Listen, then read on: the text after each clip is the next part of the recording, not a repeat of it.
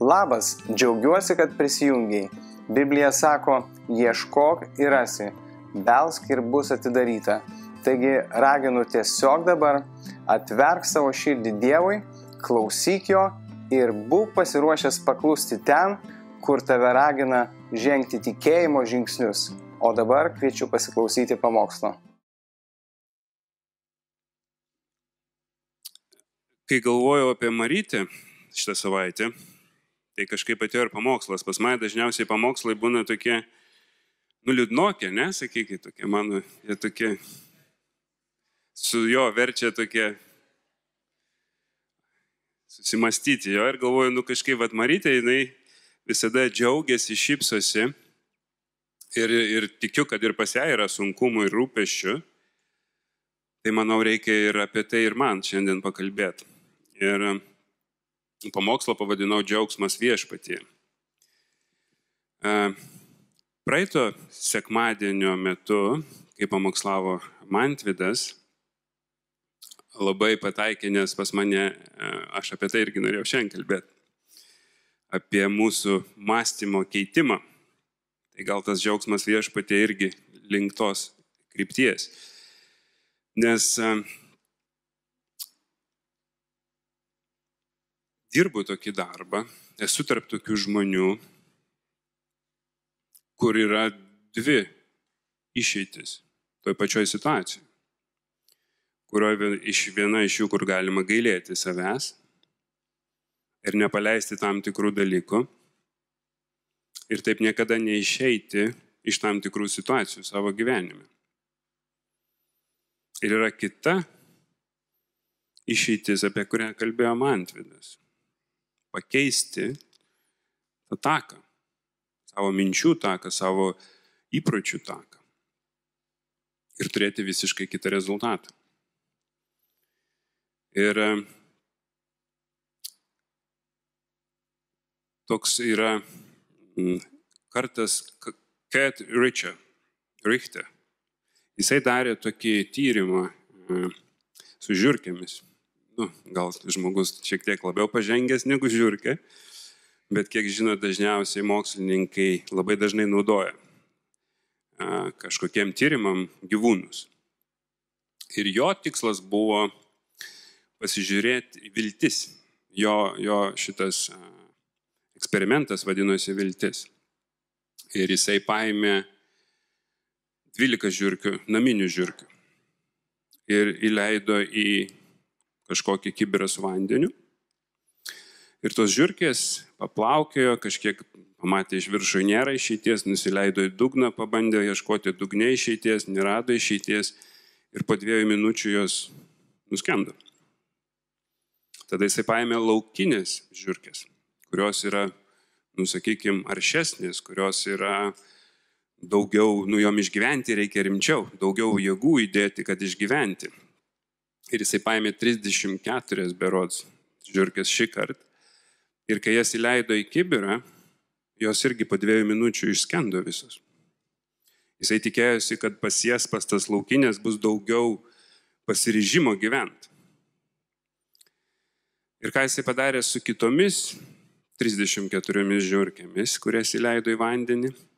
Kai jisai pamatė, kad jos jau prie skendimo ribos, jisai jas ištraukė, išdžiovino, davė jom pailsėti ir vėl įmetė. Žiaurus, aš, aš už tokius bandymus, aš tik tais konstatuoju jau įvykusi eksperimentą, aš prieš. Tai bet, bet jau panaudosiu jo tyrimo rezultatus. Ir tos žiūrkės išplaukėjo, spėkit kiek. Jos prieš tai dvi minutės, ne?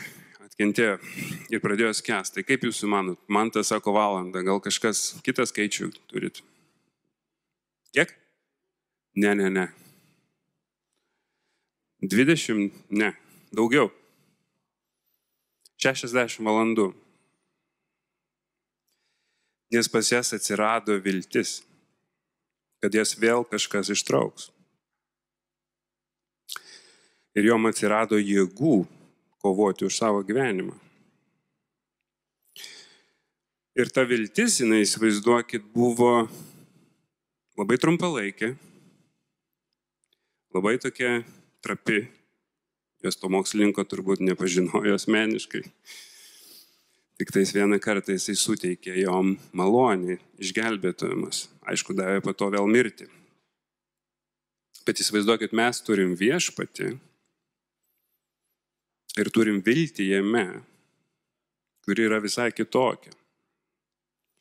Ir kai mums atrodo, kad mūsų jėgos pasilpo, kai mums atrodo, kad nebėra tikslo gyventi,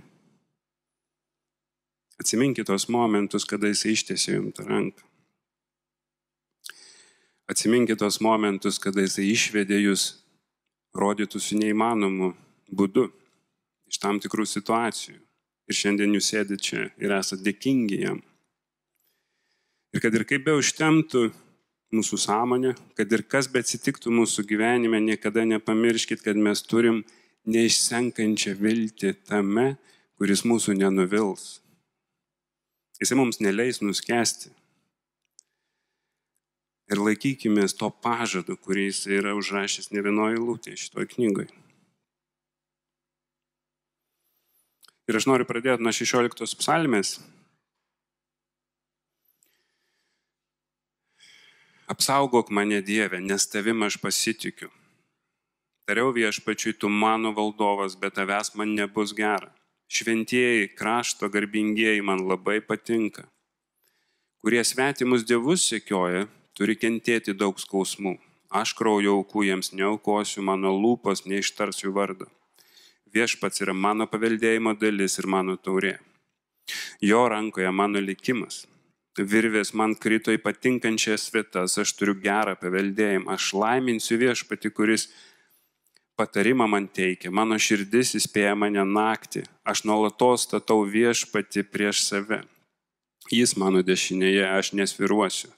Linksminasi mano širdis, džiaugiasi mano siela ir mano kūnas ilsėsi su viltimi, nes tu nepaliksi mano sielos mirusių buveinėje ir neleisi savo šventajam supūti. Tu parodysi man gyvenimo kelią, tavo akivaizdoje yra džiaugsmo pilnatvė tavo dešinėje malonumai per amžius. Amen. Ir e, sakiau, kažkaip pradėjau vėl liūdnai, ne? Sakiau, džiaugsminga šiandien žinia bus, bet vėl apie kažkokias mirtis kalbu, kad ir žiūrkiu, bet užsirašiau savo tokią kažkur, nežinau, ar iš, iš atminties, bet turbūt greičiausiai, kad kažkur skaičiau tokias mintis. Ir man Pacituosiu, ką užsirašiau čia vakar ryte. Džiaugsmas nėra tai, jeigu mes gaunam, ko tik užsimanė. Džiaugsmas yra tai, mes, kad kai mes išmokstame džiaugtis tom, ką jau turim. Ir iš tiesų labai lengva džiaugtis, kai yra dėl ko. Ar ne? Nu, man tai lengva. Aš nežinau kaip jum, tada automatiškai gauni kažką, telefoną naują nusipirkai, automobilį naują įsigijai, ar, ar namą naują įsikraustai, ar žmoną susiradai, ar kas tai bebūtų. Tas džiaugsmas yra kylantis iš vidaus ir tu negali jo ignoruoti, tu negali jo nu, kažkaip nejausti. Teisingai. Mes jausmų negalim sukontroliuoti, emociją galim, bet jausmų neįmanoma. Ir kai džiaugsmas kyla iš vidaus, mes esame iš tiesų laimingi. Bet tie praeinantis dalykai, apie kuriuos aš ką tik minėjau, jie labai greit baigėsi. Nu, gal žmona, sakykime, daugiau teikia džiaugsmo, gal ne visada, bet reiktų tikėtis, kad žmona teiks ilga, ilgai džiaugsmą visai amžinybei. Nu, tenai irgi gal kartu reikia tikėtis. Aišku, ten bus kitas džiaugsmas, sutinku man, tai bet tikiuosi, žmona irgi bus šalia tam džiaugsme. Tai va, bet aš noriu kalbėti apie kitą džiaugsmą. Aš noriu kalbėti apie tą džiaugsmą pasirinktiną ir vėl grįšiu prie man to pamokslo, kaip mes turim daryti sprendimą, kas bevyktų mūsų gyvenime, ar koks įvykis beivyktų, geras ar blogas, mes priemam sprendimą, kaip mes jį reaguosim.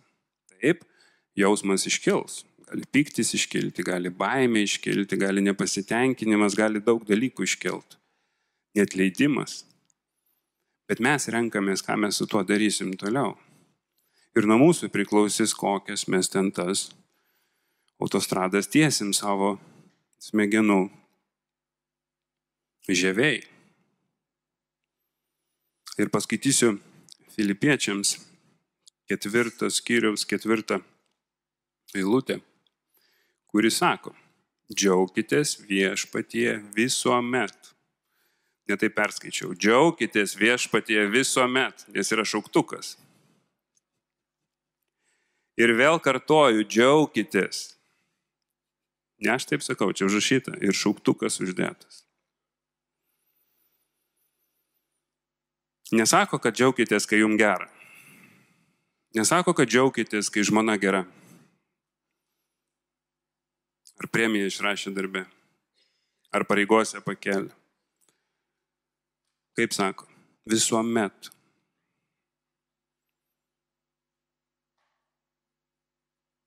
Kažkokia šizofrenija.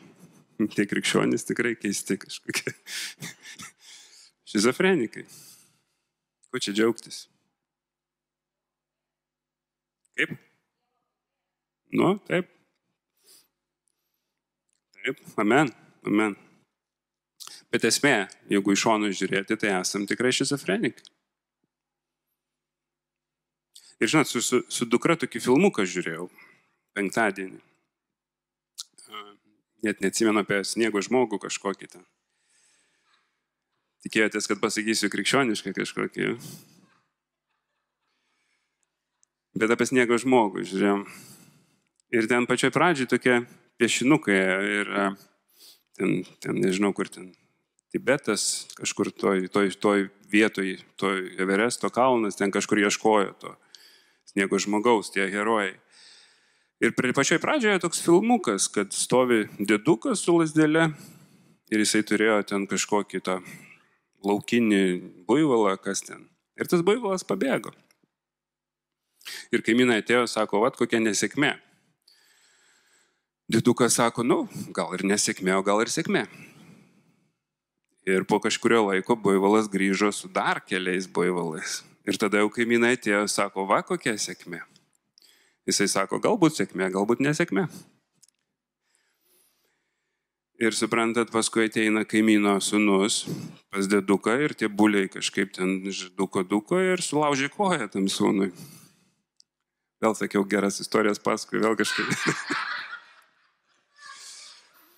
ir sako, sako, at kokia nesėkmė kaimynai, žinai. Tas sako, galbūt nesėkmė, galbūt sėkmė. Ir ateina kariai kažkokie, nes karas prasidėjo ir visus kaimo vaikus, paauglius veda į karą. O to neima, nes pasikojas lūžas. Tai vad patys ir spręskite, ar sėkmė ar nesėkmė. Ir kartais ta šizofrenija atrodytų suteikia mum jėgų pereiti, kaip ir tos žiūrkės, tam tikrus išbandymus. Nes mes žinom, kad mes turim vilti tame, kuris mus praves. Ir jisai mato daug toliau, negu mes matom. Ar galim įsivaizduoti, kaip viena ar kita situacija pasikeis. Mūsų darbas yra pasitikėti juo, turėti tą santyki su juo ir būti jame visada. Ir Šiandien dienai gal pas mane yra tam tikrų dalykų, dėl kurių aš kartais keliu savo klausimą, ar aš turiu čia stovėti, ar aš galiu kalbėti iš tos platformos. Galbūt nesu ten vyras, koks turėčiau būti pagal raštą, galbūt kažkur kitur darau pasirinkimus, kurie nėra visai tinkami. Ir ateina apkaltinimas, ateina tas, kuris pradeda tampyti už, kur tu ten, kur tu čia dabar išsirašiai, kokių tu čia sniego žmonių ieškoti išsirašiai ir, ir reikia tose vietose išstovėti. Reikia išstovėti tose vietose ant pažado, kurį mums paliko Kristus. Nes tik tais tai mus išlaikys. Tik tais tai mus praves. Ir, žinot, nežinau, turbūt daugelis iš jūsų žinot, kad kažkada turėjau priklausomybių nuo narkotikų.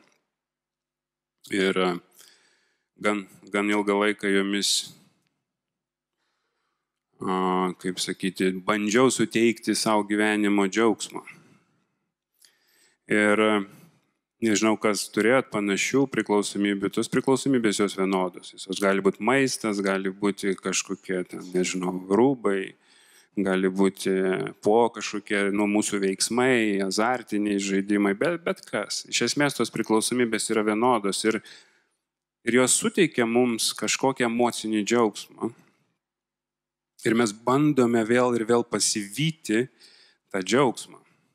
Yra toks old schoolinis terminas, nežinau, gal jau dabar jaunimas kitaip vadina, bet chasing the dragon, ta prasme vaikytis drakoną. Nes tu žinai, kad jisai gali tau įkasti labai stipriai, bet tu vis tiek nori to jausmo, nori. Ir ką daro priklausomybė kažkam, jinai duoda laikiną malonumą, laikiną pabėgimą nuo realybės. Bent jau vat šituo momentu man yra gerai. Yra kažkas, kas žinot, apie ką aš kalbu. Mes pabėgam nuo tų jausmų, nuo kalties, nuo atstumimo, nuo savo vat, kažkokios vertės nematymo. Ir tai mums suteikia tokią malonę, atrodo, kurioje tu gali pasislėpti nuo visko ir būti tik tam momente. Ir tu paniškai, kai praeina tas momentas, tu paniškai bandai vėl jį pagauti ir vėl jame būti. Ir kiek suprantat, priklausomybė jinai visą tai traukia giliau, giliau, giliau. Ir tai nebepadeda. Tai nebetneša tos, tos euforijos, to malonumo, kuris atleidžia tau pabėgti. Nes tu nebegabus nuo ten pabėgti. Tu bandai kažką keisti, bandai stiprinti, bet tu glimsti gilyn, gilyn ir gilyn. Ir nežinau, kiek iš jūsų esat, aš žinau, kad nu, kai kurie, ne visi mes išgyvenam ant gamtiškai Kristų. Kai kurie tiesiog atėjot, priemėte kaip faktą. Kiti kažkokią ant gamtinį išgyvenimą turėjot. Ir ar yra tokių, kurie turėjot kažkokį va tokį realią ant gamtinį išgyvenimą, kai Kristus prisilietė prie jūsų jūs suprasite, apie ką aš kalbu, nes aš suprantat, kai išgyvenau tai, aš galvoju, wow. Nes joks narkotikas, atsiprašau, kad aš taip sulyginsiu, bet joks narkotikas man nesuteikia tokios euforijos, kurią suteikia tą akimirką. Ir ta akimirka jinai suteikė džiaugsmą, begalinį džiaugsmą.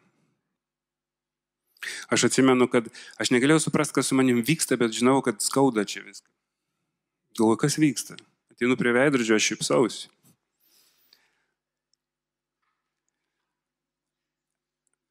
Tas įvykis įvyko, kai man buvo 29. Aš nežinau, šipsojus turbūt tik vaikystėje. Ir mano veido raumenys nebuvo pratę prie to veiksmo. Ir man nuo šypsenos skaudėjo raumenys. Ir aš rimtai kalbu. Ir man nesvarbu buvo, kas aš esu, man nesvarbu buvo mano praeitis, man niekas nebuvo svarbu. Svarbu buvo tas momentas, kuriame aš buvau. Ir aš tame momente buvau visą vakarą po prisilietimo.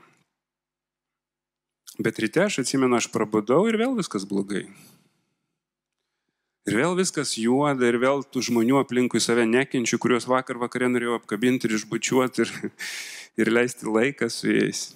Ryte supratau, kad visa tai dingo. Ir aš atsimenu, tai vyko reabilitacijoje mano. Aš pirma, pirmas dalykas, ką padariau, atėjau pas darbuotoją, sakau, nežinau, kas buvo su manim vakar, bet aš noriu taip gyventi. Aš noriu gyventi tame jausme, kuris duoda tą pilnatvę, kuris duoda tikrą džiaugsmą. Ne kažkokį susikurtą, nuo tam tikrų dalykų ar nuo tam tikrų cheminių medžiagų. Bet tą tikrą džiaugsmą, kurį duoda tik tais jis. Ir ta laisvė, ir ta pilnatvė, ir ta ramybė. Ir žinot, kas pats svarbiausias dalykas? Kad nuo jos galvos neskauda iš ryto. Kad kaulų nesuka.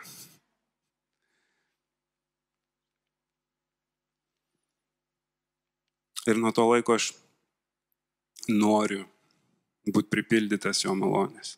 Kartais aš pats nueinu į šoną, kaip ir Mantvidas vėlgi kalbėjo apie tą kelią, kartais mes pasukam, kartais mes susireikšminam, kartais mes manom, kad mes vat, jau įsitvirtinom Dieve.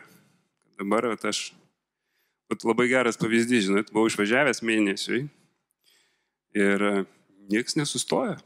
Šeima toliau gyveno, žmona pasirūpino vaikais, darbė niekas nesugriuvo, niekas kaip ir, žinai, galėjau ir ilgiau išvažiuoti, niekas nebūtų pasigėdęs. Ir tas va toks, bet tu jautiesi labai svarbus. Tu jautiesi labai svarbus, reikalingas. Bet iš esmės, nu gerai, ten dar atsimintų kažkas po pusę metų gal. Bet visą tai praeitų.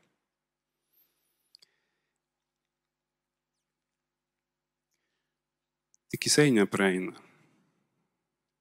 Ir buvimas jame nuleidžia mus ant žemės. Buvimas jame mums suteikia prasme keltis ryte.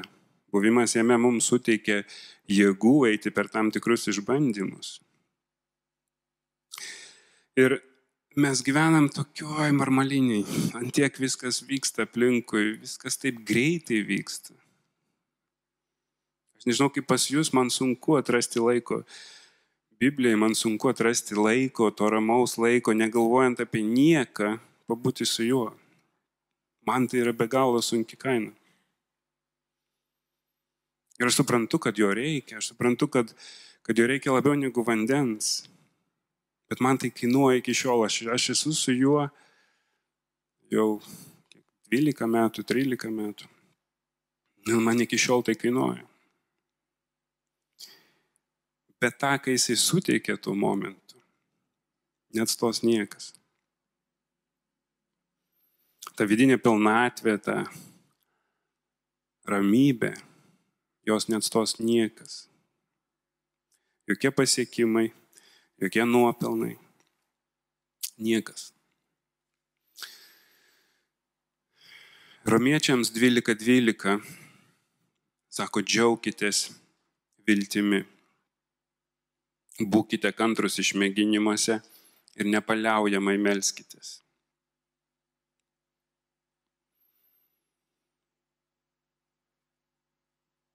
Džiaukitės viltimi. Ta pačia viltimi, kuria tu žiūrkės džiaugiasi. Suprantat? Pas mus jinai yra, pas mus yra jinai neišsenkanti, niekada nesibaigianti. Mes labai gražiai gėdam, sekmadieniais ir taip norisi gyventi tame galėtų. Aš taip norėčiau, kad Svetlana su komanda pas mane ir mašinai važiuotų, ir, darbe būtų.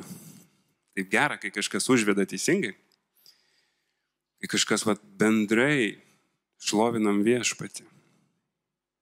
Išsilieja tą malonę, išsilieja mūsų visos problemos kažkur. Ir liekam tik mes ir jis ir jo ramybė. Ir visam šitam šurmulį, kuris bevyksta pas mus, visose situacijose, kurios bevyktų pas mus, mes turim išmokti būti kitoj, toj nežinau, kitoj realybei. Ir mėgautis tom, ką teikia jisai. Patarlių 17.22 sako, linksma širdis gydo, kaip vaistai. Prislėgta dvasia džiavina kaulus.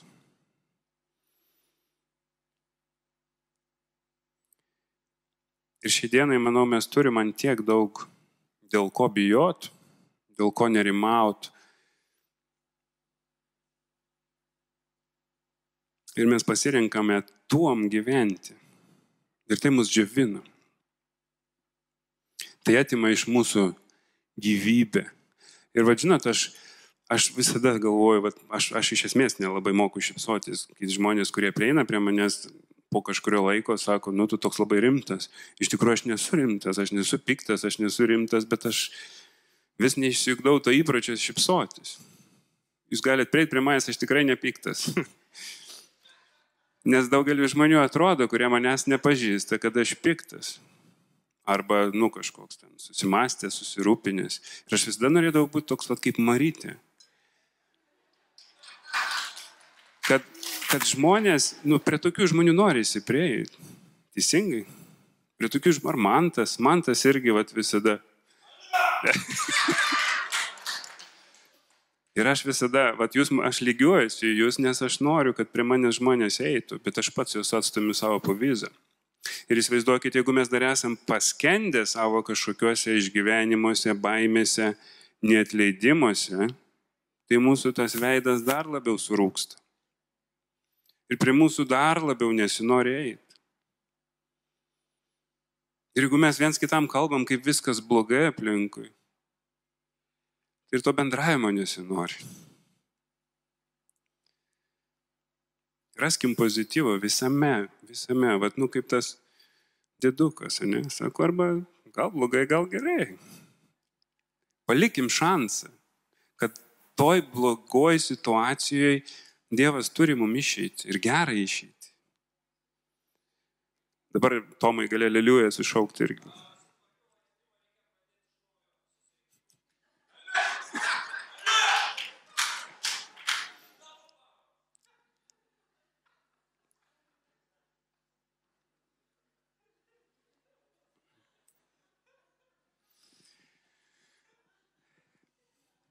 Labas rytas, bažnyčia. Pasveikinsim Marytę.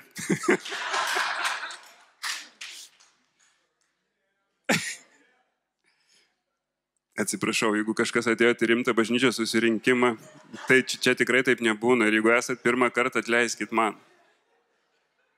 Čia taip nebūna.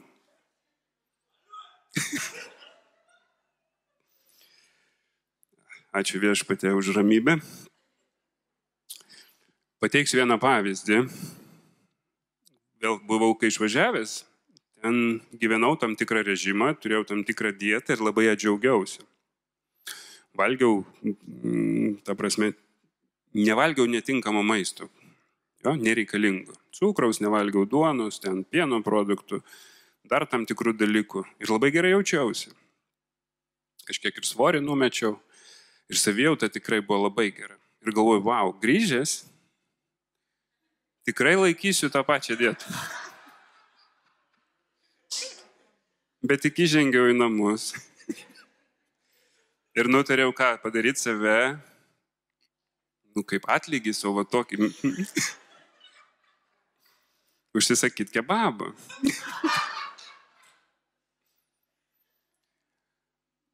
Ir suprantat, aš neskau, kad tie namai blogi, bet tuose namuose mano įpročiai yra blogi. Ir aš kai įžengiu atgal kažkur, aš ilgiuosi iš įpročių. Ir sunku yra pasilikti prie to, ir man atrodė, kad man patinka tai. Man atrodė, kad va, tikrai nuostabus dalykas. Ir tas maistas buvo, nu, nebuvo jis išlikštų, žinot, kaip būna dietos laikais ir kenti. Aš tą mėnesį mėgavausi. Nebuvo jokios kančios. Bet tik įžengus į namus, aš grįžau į tą seną vagą savo smegenų žieviai. Ir reikia vėl išstoti ir vėl ją keisti. Ir kai mums ateina noras, grįžus į tam tikrą situaciją, vėl paskesti į kažkokį nusivylimą ir ne, neapykantą savo, mes turim žengti žingsnį į priekį. Dievas yra tas, kuris keičia mūsų kelius. Jisai ištiesina mūsų kelius. Ir mes turim remtis į jį. Ir suprantat, vat pradėjau valgyti kažkokį ir spogų atsirado dar kažko ir, ir, ir vėl svoris pradėjo aukti iš karto. Tai taip pat ir mūsų dvasiniam gyvenime, kai mes tik šiek tiek padarom kažkur išimti, iš karto pradeda matytis. Apšaukiau žmoną, šuo pasimaišė, dar kažkas įvyko, plaukai ne vietoj, katinų ar dar kažkieno. Suprantat? Tik tais, kai mes dedam žingsnį į šoną, mūsų matomi, nu, prasme, akivaizdus dalykai pradeda rodyti apie mūsų dvasinę būseną.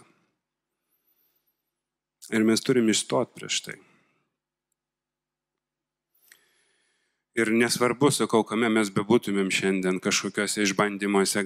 Ir aš sakau, dabar kas vyksta, aš nežinau, ir vat, kažkas gal ir Afganistanas, ir atrodo, baimė ateina, nes pasaulyje kažkokia netvarka vyksta. Niekas nežino, kas dabar bus. Bet mes žinom. Ir taip mes turim palaikyti maldoj tam tikrus įvykius būtinai. Ir taip, jeigu mes kažkur nesusitvarkom patys, mums reikalinga pagalba. Ačiū Dievui, mes atidaryti dabar. Mes galim drąsiai eiti vienas pas kitą. Drąsiai galim šlovinti viešpatį. Drąsiai galim melstis vienas už kitą. Ir būti ta šviesa, kurios šiandien reikia žmonėm. Ir ką Marytė sakė, švieskim, šipsokimės. kad prie mūsų norėtų prieiti žmonės. Dieve padėk man būti tokiu. Ir pabaigai paskaityčiau tesalonikiečiams iš pirmo laiško tesalonikiečiams 15 skyriaus 16-18 eilutės. Visada džiaukitės, be paliovos melskitės. Už viską dėkokite, nes tokia Dievo valia jums, Kristuje Jėzuje. Ir te palaimina jūs Dievas. Ir prašau, parodykit savo geriausią šypseną dabar man. Nu? Būkit palaiminti. Linkiu Jums nuostabaus likusio sekmadienio. Iki. Ačiū, kad e, žiūri mūsų laidas. Dievas veikia, daro stebuklus ir rūpinasi mumis kasdien. Mes norime padėti tau gyventi tikėjimu ir padrasinti tave. Tad prisijung prie mūsų Facebook, Instagram bei YouTube puslapių. Ten rasi daugiau žinučių, video bei straipsnių. O daugiau apie mūsų veiklą ieškok lithuanianchurch.org. Pasidalink šią žinutę su kitais. Taip pat dėkojame už tavo dosnumą ir partnerystę Dievo darbuose. Mūsų finansiškai gali paremti apsilankęs lithuanianchurch.org pasvirasis brūkšnelis paremk. Pasilikime drauge.